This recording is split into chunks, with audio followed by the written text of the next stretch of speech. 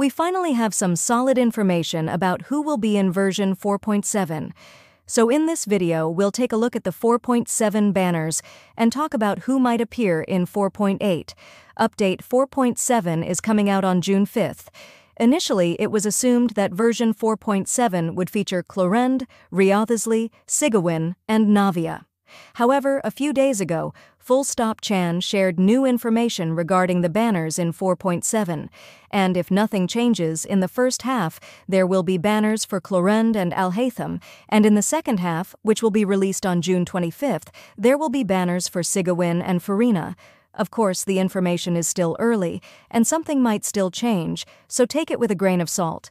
Earlier, it was assumed that Furina wouldn't be included in 4.7 banners because she lost her Archon status, but still the character is really great, earning good sales in her release banner. Therefore, bringing her back is really worth it.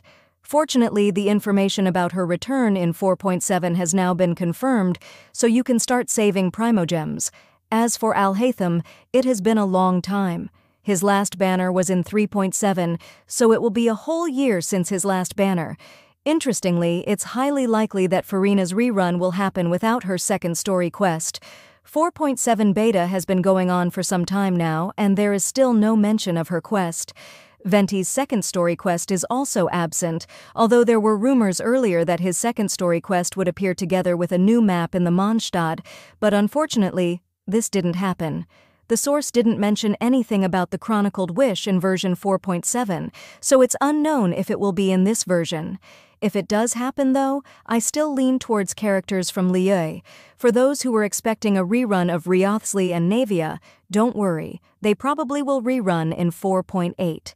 Along with Wriothesley rerun, Shenhe will also be a great character to rerun, because both of them are cryo characters and Shenhe's banner is always with another cryo character. As for other characters, Nilou will be a perfect candidate. If we take a look at how many patches have passed since a character's last rerun, Shenhe and Nilou are the two characters with the most time passed since their last banner. On top of that, both of them can't appear in the Chronicled Wish, since they don't have three banners yet. Of course, we have characters like Ganyu, Kokomi, and Yelan, but all of them might be featured in the next Chronicled Wish.